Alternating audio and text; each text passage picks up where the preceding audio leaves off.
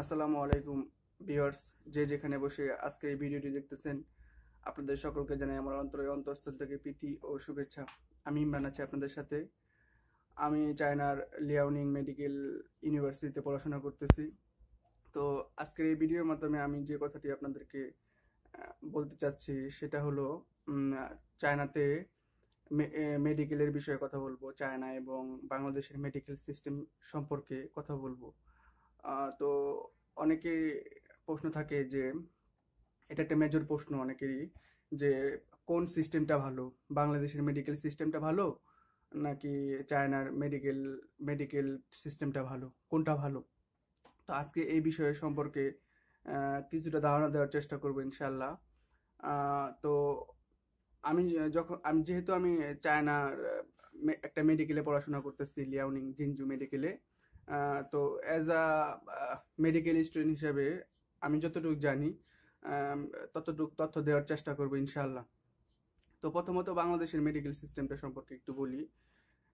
তো বাংলাদেশের মেডিকেল সিস্টেমটা হলো ব্রিটিশ সিস্টেম ঠিক আছে? যেটাকে ব্রিটিশ পদ্ধতি বলা হয়, যেখানে ক্লাস টেস্ট থাকে টেস্ট থাকে, তারপরে আপনার আইটেম পরীক্ষা থাকে এবং সর্বশেষে প্রুফ পরীক্ষা থাকে।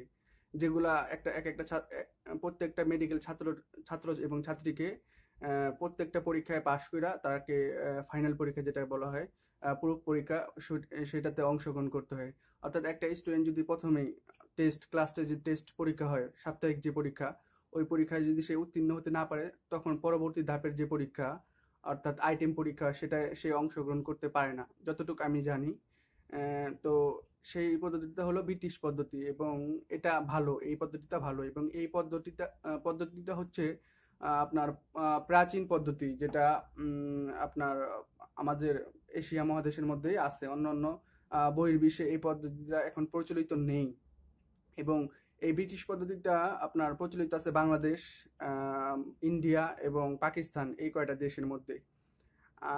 এবং, আর চায়নার শিক্ষা পদ্ধতি হচ্ছে ইন্টারন্যাশনাল পদ্ধতি। যেখানে আপনার ইন্টারন্যাশনাল এডুকেশনের সাথে তাল মিলায় চায়নারা আপনার এডুকেশন সিস্টেমটা তৈরি করছে বর্তমানে। তো বাংলাদেশের মেডিকেল সিস্টেমটায় ওইখানে স্টুডেন্টদেরকে জোর করে আপনার শেখানো হয়, এবং এটা ভালো। এবং বাংলাদেশের স্টুডেন্টরা আপনার জোর করে পড়লেও তারা ভালো একটা, ভালো মানের ডাক্তার হতে পারে, বাংলাদেশের পাবলিক অথবা বাংলাদেশের যে আপনার প্রাইভেট মেডিকেলগুলো আছে, ওইখানে ভালো ডাক্তার হয়ে বের হতে সম্ভাবনা থাকে। আর বাংলা চায়নার বিষয়টা হচ্ছে, এখানে আপনাকে জোর করে পড়াবে না কেউ। এখানে স্টুডেন্টদের নিজের ইচ্ছা মতো পড়াশোনা করেই ভালো রেজাল্ট করতে হয় অত ভালো কিছু করতে হবে। এখানে টিচাররা কোনো বল প্রয়োগ করে না পড়ার প্রতি, যে আপনি পড়লে পড়েন, না পড়েন না পড়েন। এখানে আপনার নিজ নিজ দায়িত্ব থেকে এখানে চায়নাতে পড়াশোনা করতে হয়, ঠিক আছে?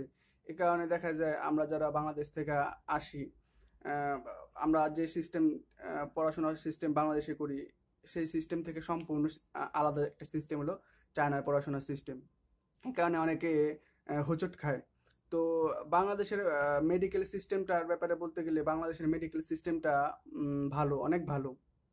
তো আপনার যারা বাংলাদেশের পাবলিকে যারা টিকে, তো টিকলো, যারা যারা জাতীয় মেধায় টিকে আর যারা বাংলাদেশের পাবলিকে টিকতে পারে না, তারা যদি চায়নাতে আসতে চান, সেক্ষেত্রে আমার একটা পরামর্শ হচ্ছে আপনারা পাবলিকে যদি চান্স না পান, যদি আপনার প্রাইভেটে পড়ার মতো যদি আপনার যোগ্যতা থাকে, আপনি যদি চান্স পান, তাহলে আপনি বাংলাদেশের প্রাইভেট মেডিকেলগুলোতেই ভর্তি হন, চায়না না আইসা। কারণ বাংলাদেশের প্রাইভেট মেডিকেলগুলো অনেক ভালো, চায়নার তুলনায়। আর যদি আপনার একান্তই মানে আপনি টিকতে না পারেন ওইখানে পরীক্ষায় মেডিকেল যে ভর্তি পরীক্ষা হয়, ওইখানে যদি আপনার মেরিট লিস্টে কোনো নাম না থাকে, অর্থাৎ পাশের যে যোগ্যতা যদি আপনার মানে অর্জন করতে না পারেন আপনি, তাহলে আপনি যদি আপনি ডাক্তার হতে চান একান্তভাবে যে, না, আমি ডাক্তারি পড়ব, ডাক্তার হতেই হবে আমাকে। যদি আপনি বাংলাদেশের ওই যদি বাংলাদেশের ওই ভর্তি পরীক্ষায় আপনি মেডিকেল ভর্তি পরীক্ষায় যদি আপনি পাশ করতে না পারেন সেক্ষেত্রে আপনি চায়না আসতে পারেন। এছাড়া আমার একটা পরামর্শ থাকবে, আপনি বাংলাদেশের প্রাইভেট মেডিকেলগুলোতেই ভর্তি হন। কারণ আপনি যদি ওইখানে ভর্তি হন, তাহলে আপনি হয়তো পাঁচ বছরে ডাক্তার হতে পারবেন না, ছয় বছর, সাত বছর আপনার ডাক্তার হতে সময় লাগতে পারে। যদি আপনি ভালো মানের স্টুডেন্ট না হন তারপর আপনি একটা ভালো ডাক্তার হতে পারবেন ওইখান থেকে। ঠিক আছে? ওইখানে জোর করে হলেও বা ভালো আপনাকে একটা এডুকেশন জোর মানে কি বলে এটাকে? মানে আপনাকে চাপের মধ্যে রেখা হলেও আপনার ভালো ডাক্তার বানায় ছাড়বে এখান থেকে। কিন্তু চায়না আসলে আপনার দেখা যাবে, যেহেতু চায়নার এডুকেশন সিস্টেমটা অন্য, বাংলাদেশের এডুকেশন সিস্টেমের সাথে পুরোপুরি মিলে না। তো এটা হলো, চায়নার এডুকেশন সিস্টেমটা হলো international education system international education সিস্টেমে কাউকে জোর করে কোন পড়ানো হয় না। এখানে আপনার শুধুমাত্র আপনার ইচ্ছা অনুযায়ী আপনি পড়বেন, পড়াশোনা করবেন। আপনার নিজস্ব দায়িত্ববোধ থেকে আপনি এখানে পড়াশোনা করবেন। আপনি পড়বেন কি আপনি ঘুরবেন, অথবা আপনি আড্ডা দিবেন বন্ধুদের সাথে, এটা আপনার ব্যাপার। কিন্তু বাংলাদেশে দেখেন আপনার যেহেতু সাপ্তাহিক পরীক্ষায় আপনার নাপ টিকলে আপনি পরবর্তী টার্ম পরীক্ষাগুলোতে আপনি অংশগ্রহণ করতে পারছেন না। অর্থাৎ আপনাকে বাধ্য হয়ে আপনার পড়াশোনা করতে হচ্ছে ওখানে। আবার ওইখানে আপনার বাংলাদেশে যদি আপনি পরীক্ষায় না টিকে, তারপরে ওইখানে জরিমানা দিতে হয়, অনেক টাকা টাকা দিয়ে আবার পরীক্ষা দিতে হয় এই ইত্যাদি ইত্যাদি কারণে আপনাকে ওইখানে যদি আপনি বাংলাদেশের প্রাইভেট মেডিকেলগুলোতে পড়েন, তাহলে আপনার ওইটাই বেস্ট মনে করি যে ওখানে যদিও আপনার পাঁচ বছরের মধ্যে আপনি ডাক্তার হতে পারছেন না তারপরও আপনি ছয় বছর, সাত বছর পর হলেও আপনি ভালো ডাক্তার হয়ে ওইখান থেকে বের হতে পারবেন। আর যদি আপনি, যেটা আগে বললাম, যে যদি আপনি না টিকেন একান্তই, যে না, আমি আমার মেডিকেলে পড়ার খুবই ইচ্ছা, আমি ডাক্তার, আমাকে হতেই হবে, আমাকে মেডিকেলে পড়তে হবে অন্য কোনো অপশন আমার কাছে নাই। যেমন আমার ক্ষেত্রে হয়েছিল, আমি যখন মেডিকেলের পরীক্ষা দিছি, আমার যখন হয় নাই, তখন আমি অন্য কোনো আপনার ভার্সিটির অন্য কোনো ভর্তি পরীক্ষা অংশগ্রহণের জন্য আমি কোনো অ্যাপ্লাই করি নাই। কারণ আমার একান্ত ইচ্ছা ছিল আমি মেডিকেলেই পড়ব শুধু। তো এই ধরনের কারও যদি ইচ্ছা থাকে যে শুধু মেডিকেলেই টার্গেট মেডিকেলে পড়ার ইচ্ছা কিন্তু বাংলাদেশের ভর্তি পরীক্ষা অর্থাৎ ভর্তির যে মার্ক চল্লিশ মার্ক চল্লিশ মার্ক পায় আপনাকে পাশ করতে হবে। আর না হলে আপনি বাংলাদেশের কোনো প্রাইভেট মেডিকেলে ভর্তি হতে পারবেন না। যদি এই ধরনের কোনো অপশন না থাকে, ওই ক্ষেত্রে আমি আপনাকে পরামর্শ দিব যে আপনি চায়না আসেন এবং চায়না এসে পড়াশোনা করতে পারেন।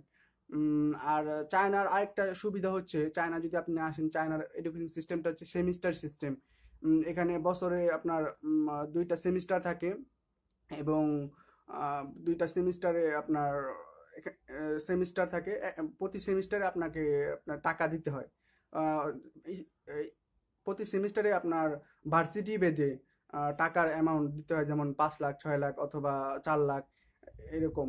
কিন্তু বাংলাদেশের মেডিকেলগুলোতে হয় কি, আপনার যখন আপনি প্রাইভেট মেডিকেলগুলোতে ভর্তি হতে যাবেন, তখন টোটাল যে অ্যামাউন্টটা ধরেন বিশ লাখ অথবা পনেরো লাখ টাকাটা তারা এক, একবারে একসাথে নিয়ে আনে এক্ষেত্রে যাদের এত টাকা থাকে না এক- একত্রে, তাদের ক্ষেত্রে অনেক প্রবলেম প্রবলেমে পড়তে হয়। কারণ বিশ লাখ টাকা তো সবার দ্বারা সম্ভব না দেওয়া, এক- একত্রে দেওয়া সম্ভব না। তো এক্ষেত্রে আপনার চায়নাতে একটা সুবিধা আছে কি, আপনার সেমিস্টার ওয়াইজ টাকাটা আপনার পে করলেই চলবে। অর্থাৎ বছরে আপনার দেখা যায় বছরের যে বাৎসরিক যে টাকাটা, ওদের অ্যামাউন্ট থাকে যে সেমিস্টারে যে টাকাটা, আপনার দেখা যায় চার লাখ টাকা হতে পারে। অনেক ভার্সিটিতে যেগুলো আছে ভালো নিম্নমানের ভার্সিটি, ওগুলোতে তিন লাখ টাকা হতে পারে। অথবা আপনার যেগুলো আছে মোটামুটি ভালো মানের পাঁচ লাখ টাকা, ছয় লাখ টাকা, সাত লাখ টাকা হতে পারে। ঠিক আছে? এক্ষেত্রে একটা সুবিধা আছে। যারা অনেকগুলো টাকা একত্রে অ্যারেঞ্জ করতে পারে না ওরা চায়নাতে যদি পড়াশোনা করে, তাহলে আপনার বাৎসরিক সেমিস্টার ওয়াইজ টাকাটা দিলে, দিয়েই তারা পড়াশোনা করতে পারে এখানে। এখানে যদি পাঁচ বছরে পড়াশোনা করে, এমন মোটামুটি ভালো মানের ইউনিভার্সিটি আছে, যেখানে আপনার পঁচিশ লাখ অথবা পঁচিশ লাখ অথবা বিশ লাখ অথবা বাইশ লাখ অথবা আপনার সাতাইশ লাখ অথবা তিরিশ লাখ টাকার মধ্যে তারা তাদের টোটাল যে এমবিবিএস এর পাঁচ বছরের কোর্সটা সেটা কমপ্লিট করতে পারে এখান থেকে। অর্থাৎ প্রতি বছর বছর, ধরেন যদি কোনো ভার্সিটির tuition fee total tuition fee পাঁচ, পঁচিশ লাখ টাকা হয় মানে এমবিবিএস পুরো কোর্সের তখন সে সেমিস্টার ওয়াইজ অর্থাৎ এক বছর পর পর এক বছর অন্তর অন্তর সে পাঁচ লাখ টাকা করে পাঁচ বছরে পাঁচ, পাঁচা পঁচিশ পঁচিশ লাখ টাকা দিলেই সে তার এমবিবিএস কোর্সটি এখান থেকে কমপ্লিট করতে পারবে। এটা একটা ভালো একটা সুযোগ যে চায়নাতে যদি আপনি এমবিবিএস পড়তে আসেন, তাহলে আপনি এখান থেকে এই মানে পাঁচ লাখ অথবা চার লাখ অর্থাৎ কম অ্যামাউন্টের টাকা প্রতি বছর বছর পে করে আপনি এখানে পড়াশোনা করতে পারেন। এটা একটা ভালো একটা সুযোগ। আর বাংলাদেশের কথা তো বললামই আগে যে বাংলাদেশের মেডিকেল সিস্টেমটা যারা পাবলিকে টিকে মেরিট লিস্টে অবশ্যই ভালো তাদের জন্য। আর যারা না টিকে, তারা আপনারা চায় না আসার আগে আপনারা যদি আপনাদের চান্স হয় প্রাইভেটে তাহলে আপনারা প্রাইভেটে আমি মনে করি প্রাইভেটে আপনাদের ভর্তি হওয়াটা সবচেয়ে ভালো হবে। তো এই বিষয়ে আরও যদি কারও কোনো কোশ্চেন আপনাদের থেকে থাকে, তো আমার সাথে আপনি, আপনারা যোগাযোগ করতে পারেন এবং আমাকে আপনারা, আপনাদের প্রশ্নগুলো জানাতে পারেন। আমি আপনাদের আপনাদের উত্তর প্রশ্নের উত্তরগুলো দেওয়ার চেষ্টা করব। তো এই বলে আমি আমার ভিডিওটি এখানে আজকে শেষ করছি। তো আমার ভিডিওটি যদি আপনাদের ভালো লেগে থাকে আমার চ্যানেলটি সাবস্ক্রাইব করুন এবং পাশে থাকা বেল আইকনটি ক্লিক করুন। আসসালামু আলাইকুম। ধন্যবাদ সবাইকে।